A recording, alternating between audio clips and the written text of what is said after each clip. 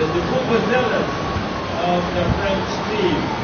And they make a lot of noise and they take over the entire Kolna Championship facility as uh, the as the French athlete Mathurin Madoré is on his way. Madoré is leading at the first intermediate. He watched carefully Thank you.